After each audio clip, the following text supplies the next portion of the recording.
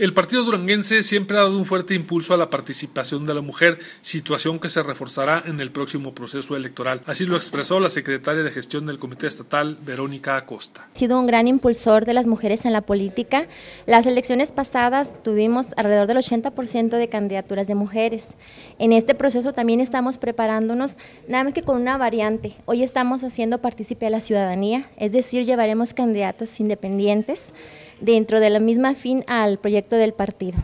Pero siempre reiterarte, el partido ha sido un gran impulsor de la mujer en la política. Estamos al 50 de 50. Es más, aquí se podría decir que los que podrían quejarse por falta de equidad serían los hombres, porque tenemos casi cubierto el 70% con mujeres. Nuestra militancia, el padrón, lo compone alrededor del 55% son mujeres. Entonces el partido siempre ha estado muy preocupado de incursionar a la mujer en la vida política.